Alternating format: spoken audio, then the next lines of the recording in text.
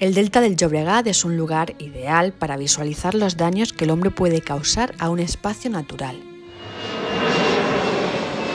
La apuesta por convertir este entorno en un centro logístico y la ampliación del aeropuerto de Barcelona han traído consigo la fragmentación y degradación de sus bosques, humedales y arenales costeros.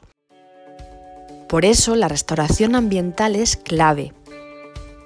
Estamos en Viladecans, en la provincia de Barcelona, muy cerca del puerto El Prat.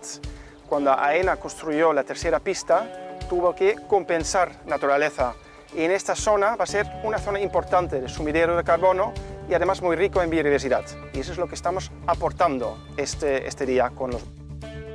El proyecto europeo Life Terra, en colaboración con el Consorcio para la Protección y Gestión de los Espacios Naturales del Delta del Llobregat, se ha propuesto restaurar las zonas más degradadas de pinares, y es un sistema interesante porque bueno, ha, recibido mucha presión antrópica, de hecho vemos que hay mucha, mucha mezcla de especies que uno pensaría a ver si tendrían que encontrarse aquí, muchas son esta incorporación de las especies asociadas a los humanos. El proyecto evidentemente quiere plantar árboles, pero no es en cualquier sitio.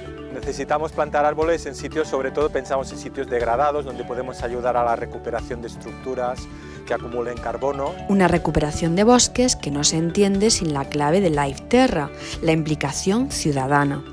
El proyecto pretende concienciar enseñando a estudiantes, familias, empresarios y otros colectivos a ejecutar ellos mismos labores de restauración ambiental.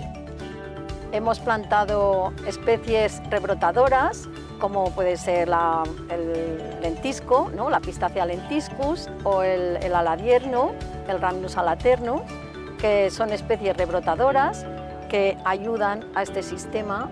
Colaborar ayuda a entender mejor la importancia de proteger nuestro planeta. Y en este caso hombre, bueno, si puedo hacer algo extra, pues lo haré. Aparte de que es una actividad súper divertida, ¿eh? tenía que estaba mirando a mi hija y pensé, oh, qué bien lo está pasando. Con cual, aparte de que haces algo bien para la naturaleza, como padre, me siento súper bien ya.